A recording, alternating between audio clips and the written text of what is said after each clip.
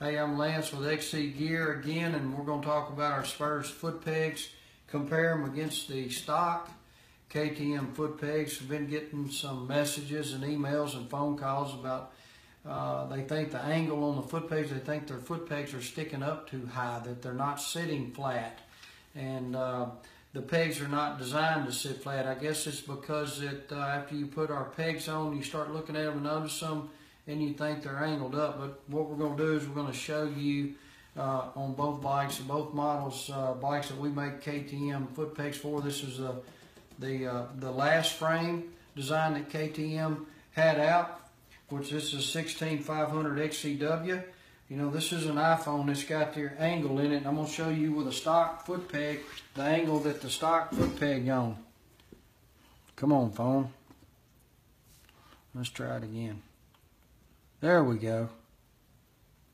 See that? It's three degree. They got a three degree angle on them on the stock peg. And then four, almost four. Then we're going to get on one of our SPURZ peg. This is a the XCS 14K. This is for the other frame bike. We're not going to do the springs just so we can do it really fast. And we're going to put the SPURZ foot peg on. Get the same phone.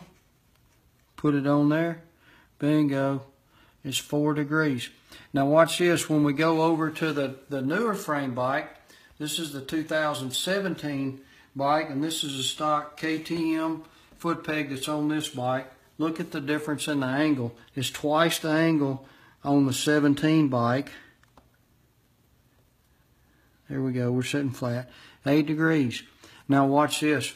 We'll get our SPURZ foot peg out for that. The XCS 16K, which is, fits the new frame bike.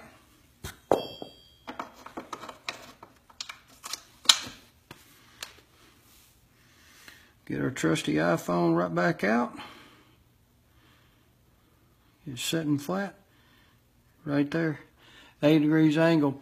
So they, they, they mimic the KTM's angle exactly, but what you'll notice on the new frame bike, it's got twice the angle that the old frame bike does. Also, the other thing, the difference in the foot pegs, I want to show you, they're both the same as far as width on 2017. The newer style um, KTM foot pegs and the old style KTM foot peg.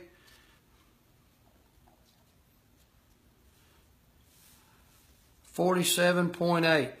So it's basically it's a 48 millimeter wide uh, foot peg platform.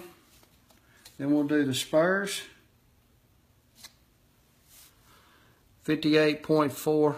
You measure a little bit different. A lot of times I get 59 millimeters, but basically you're going to end up with a 59 millimeter foot platform on the SPURZ foot peg. But I hope that answers some questions with everybody when they think their pegs aren't sitting flat. And just look at your pegs on your bike and you'll notice that they're not flat, but we mimicked it.